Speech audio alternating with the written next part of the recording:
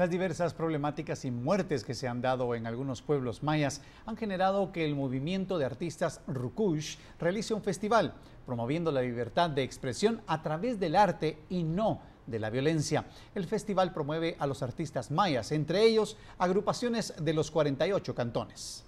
El Festival Rukush iniciará el 25 de noviembre y concluirá el 1 de diciembre y se llevará a cabo en el Parque Central y el Salón Municipal de Sololá, lugar que eligieron para desarrollar el festival, pues fue donde asesinaron al líder maya maestro y artista Lisandro Huarcash en el año 2010. El padre de Lisandro es uno de los organizadores del encuentro artístico. Se quiere darle el sentido de un desarrollo cultural la transformación social y política de, los pueblos originarios. Mucha juventud, muchas personalidades han tratado la manera de retomar, de reivindicar, de recrear, sin embargo han tenido el, mismo camino como Tat Lisandro, ¿verdad? que han sido eh, pues asesinados vilmente. Le queremos dar vida a toda esta expresión de artística que hay, que es una riqueza que no se visibiliza en el país eh, por falta pues, de voluntad política quizás de las autoridades para que se valoren como debe ser y no folclorizar.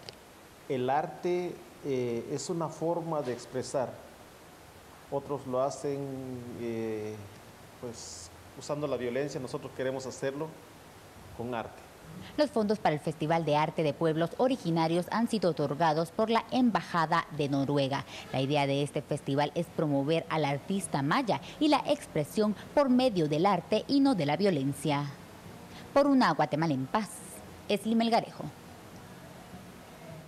Hoy dio inicio el Festival de Cine Ícaro, en el cual se presentarán películas latinoamericanas durante una semana. Nuestra compañera Silvia María Corso se encuentra en el lugar y nos trae todos los detalles. Adelante, Silvia, escuchamos.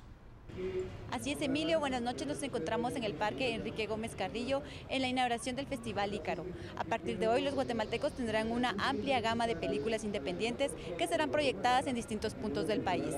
Hoy, para comenzar, se estará proyectando la película La Jaula de Oro. Contentos que sea el Festival Ícaro quien pueda presentarla por primera vez en Guatemala y muy contento también con la cantidad de personas que han decidido venir al parque, que han decidido venir a, a inaugurar este festival que ya durante estos 16 años se ha convertido en un festival tan nuestro, ¿verdad? Y decididos a que también durante esta semana haya un poco de respiro en el cine hollywoodense y que podamos tener este cine más nuestro, más latinoamericano, más centroamericano. Productor y uno de los protagonistas de la cinta mexicana nos comentaron al respecto sus experiencias al rodar este film. La película es mexicana, pero de corazón es guatemalteca, eh, por los actores, porque la historia se empezó a filmar aquí, entonces para nosotros es muy importante que, que participe en este festival, que lo esté abriendo, significa mucho. Más o menos los jóvenes, por decir así, viven en lugares marginales de aquí de Guatemala, así, donde, por decir así, ni el presidente quiere entrar, ¿va? Entonces, este, también habla un poco como del racismo entre, entre la gente como de la capital y la gente de los pueblos. El Ícaro Festival Internacional de Cine en Centroamérica se estará llevando a cabo del 14 al 21 de noviembre en Quetzaltenango, en la ciudad de Guatemala y en la antigua Guatemala. Para más información sobre los horarios y los lugares donde se proyectarán las películas, se puede ingresar a la página web festivalicaro.com.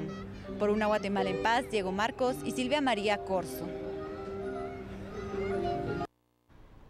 Este es un servicio social. Con urgencia se necesita sangre A positivo para el señor Venancio Botrán, que se encuentra en cuidados intensivos del Hospital Herrera Gerandi. A los posibles donadores, por favor, dirigirse en el área de cuidados intensivos del Hospital Herrera Gerandi.